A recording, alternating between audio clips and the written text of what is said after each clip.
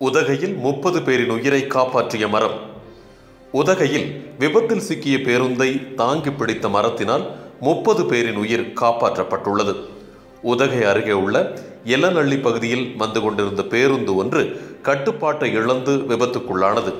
இந்த சம்பவத்தில் பள்ளத்தில் கவிழ இருந்த பேருந்தை மரம் ஒன்று தாங்கி பிடித்தது. இதனால் முப்பது பேரின் உயிர் காப்பாற்றப்பட்டுள்ளது. இதைத் தொடர்ந்து பேருந்தில் இருந்தவர்கள் பத்திரமாக மீட்கப்பட்டனர்.